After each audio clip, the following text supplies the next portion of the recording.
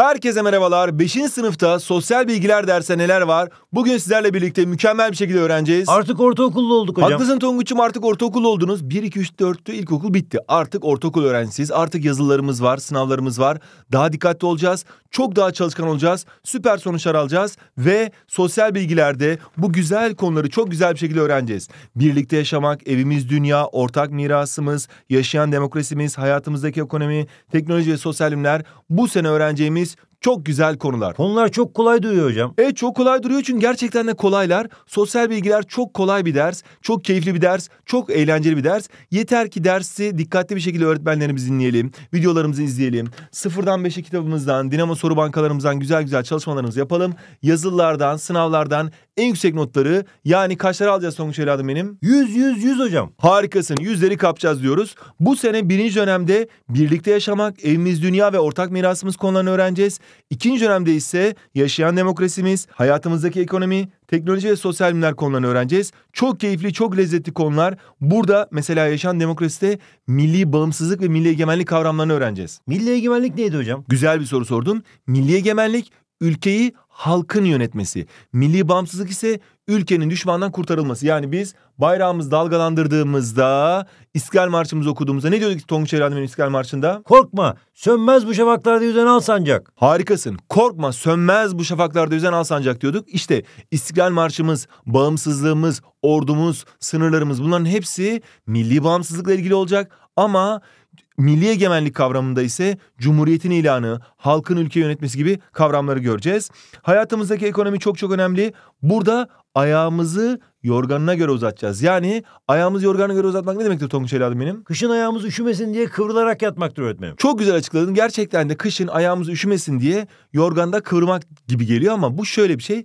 Eğer sen 100 lira kazanıyorsan yani 100 lira harçlığın varsa ama 150 lira harcarsan burada ayağını yorganına göre uzatmamış oluyorsun. Ama 100 lira harçın varken 80 lira harcıyorsan ayağını yorganına göre uzatmış oluyorsun ve ayağını birazcık kırmış oluyorsun. Masraflarını kısmış oluyorsun, tasarruf etmiş oluyorsun. İşte bu keyifli, bu güzel konuları öğreneceğiz ve sonrasında hem sıfırdan 5 hazırlık setimizden hem de Dinamo soru bankalarımızdan mükemmel sorular çözeceğiz. Burada sıfırdan 5 hazırlık setinin içerisinde iki tane efsanevi kitap var. Biri sıfırdan 5'e sözel, diğeri sıfırdan 5'e sayısal. Sıfırdan 5'e sayısalda matematik ve fen dersleri var. Burada fen derslerini solda konu, sağda soru. Solda konu, sağda soru yöntemiyle harika bir şekilde anlatıyoruz. Konuları çok güzel bir şekilde öğrendikten sonra sadece konunun bu kısmıyla alakalı sorular çözüyoruz. Burada matematikte aynı şekilde benzer taktiklerle, yöntemlerle esprili bir şekilde öğreniyoruz.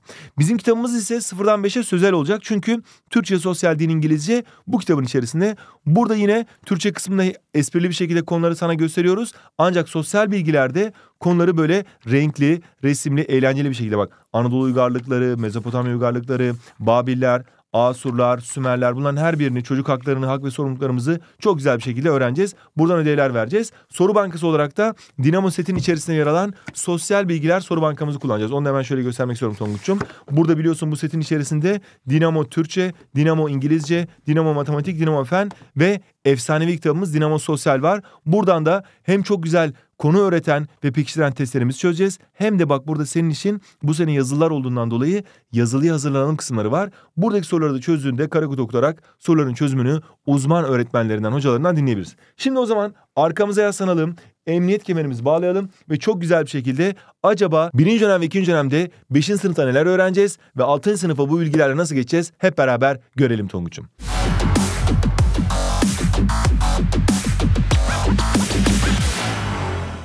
Şimdi ilk başta ilk konumuz birlikte yaşamak konusu. Burada gruplar ve roller ve aynı zamanda yardımlaşma ve dayanışma faaliyetlerinin toplumsal birliğe etkisi gibi çok keyifli, çok leziz, çok kolay bir konu öğreneceğiz. Bizim tabii ki sorumluluklarımız var. Yani ödevlerimiz var. Belli bir gruba, aile grubuna dahiliz, okul grubuna dahiliz ve burada sosyal rollerimiz var. Mesela sen bir öğrencisin, ben bir öğretmenim. Bu rolümüzü, bu görevimizi çok iyi yerine getirmemiz gerekiyor. Sen bir öğrenci olarak belli sorumlulukların var. Bu sorumlulukları yerine getirmen gerekiyor. İkinci ünitemiz ise yine çok leziz, çok keyifli bir konu. Evimiz dünya. Burada yaşadığımız ilin göreceli konumuna bakacağız. Yaşadığımız ildeki doğal ve beşeri çevredeki değişime bakacağız. Beşeri insani demek doğal da tabii ki doğaya özgü. Yaşadığın ilde meydana gelebilecek afetlerin etkilerine bakacağız. Deprem, sel, orman yangını gibi önemli afetler ülkemize etkili olabiliyor. Bunlara karşı nasıl davranmamız gerektiğini göreceğiz ve ülkemize komşu devletler var. Bizim komşularımız nelerdir Tonguç evladım benim? Yunanistan, Suriye, İran öğretmenim. Çok güzel söyledin. Yunanistan komşumuz. Aynı zamanda Batı'da Bulgaristan'da komşumuz. Bulgaristan'ı unuttun. Burada Suriye'yi söyledin, İran'ı söyledin ama Irak, e, Nahçıvan, Ermenistan, Azerbaycan ve Gürcistan'da doğu sınırımızın komşuları olacak. Bunları da güzel bir şekilde göreceğiz. Bir de ortak mirasımız var. Üçüncü öğrenme alanı. Bu da yine birinci dönemin son konusu olacak. Burada mesela burada çok güzel bir şey var. Bu neye benziyor Tonguç Eladım benim? Tapınağa benziyor hocam. Evet gerçekten doğru söyledin. Bu Mezopotamya uygarlıklarından Sümerlere ait zigurat. Ziguratları hem tapınak olarak kullanıyorlar hem depo olarak kullanıyorlar. Hem üstüne çıkıp terasından bakaraktan rasathane yani gökyüzünü gözlemleyebiliyorlar. Gözlemevi olarak kullanıyorlar. Hem burada çocuklara ders verebiliyorlar. Aynı zamanda burayı depo olarak kullanırken kimin kaç kilo patatesi var kaç kilo soğanı var yazalım derken bir anda yazıyı buluyorlar ve dünya mirasına yazıyı kazandırıyorlar. Gerçekten Anadolu'nun ilk yerleşim yerlerindeki sosyal hayat öğrendiğimiz gibi Mezopotamya ve Anadolu medeniyetlerinin ortak mirasa katkılarını öğreneceğiz. Mezopotamya'daki Sümer medeniyeti gerçekten yazıyı dünya tarihine kazandırıyor ve Sümerlerden sonra zaten yazıyı bulmalarından sonra tarih çağları başlıyor. İkinci döneme geçtiğimizde yaşayan demokrasimiz konusunu görüyoruz. Burada demokrasi ve cumhuriyet kavramının temel niteliklerini göreceğiz. Az önce söylemiştik milli egemenlik vardı. Milli egemenlik ülkeyi halkın yönetmesiydi. Yani böyle bir sandık resmi gördüğünde insanların hani siz sınıf başkanını seçiyorsunuz ya onun gibi ülkenin başkanını seçmeleri milli egemenlikle alakalı, cumhuriyetle alakalı. Etkin vatandaşın özelliklerine bakacağız. Etkin bir vatandaş vergisini verir, askerliğini yapar, seçimlere katılıp oy verir. Bunların her birinin önemini göreceğiz. Temel haklarımızı, sorumluluklarımızı ve önemine bakacağız. İhtiyaç durumunda veya sorunların çözümünde başvurulacak önemli kurumlar var. Onları da ikinci dönemde yaşayan demokrasimiz konusunda çok güzel bir şekilde öğreneceğiz sonuç evladım benim. Bir de hayatımızdaki ekonomi var. Dersimizin başında söylemiştim. Ayağını yorgana göre uzat demiştim. Sen de kışın ayağımız üşümesin diye kıvrılarak yatmaktır demiştin. Gerçekten de eğer ayağımızı biz dışarıda bırakırsak gördüğün gibi buradaki kedi miyav deyip yalamaya başlar. Ama aynı zamanda kedinin yalaması önemli değil. Soğuktan üşüyebilir. Aynı şekilde biz 100 lira kazancımız varken 150 lira harcarsak yani kazancımızın ötesine geçersek bu durumda masraflarımızı ödeyemez hale geliriz ve sıkıntı yaşarız. O yüzden ayağımızı kıvırmalı 100 lira kazanıyorsak 80 lira 90 lira harcamalıyız. İşte bütçe oluşturma ve aynı zamanda kaynakların verimli kullanımı hayatımızdaki ekonomi dersinin en önemli başlıkları olacak Tonguç evladım benim. Gördüğün gibi konular nasıl duruyor sence Tonguç evladım benim? Çok kolay öğretmenim. Harikasın. Çok kolay duruyor. Hep beraber öğreneceğiz.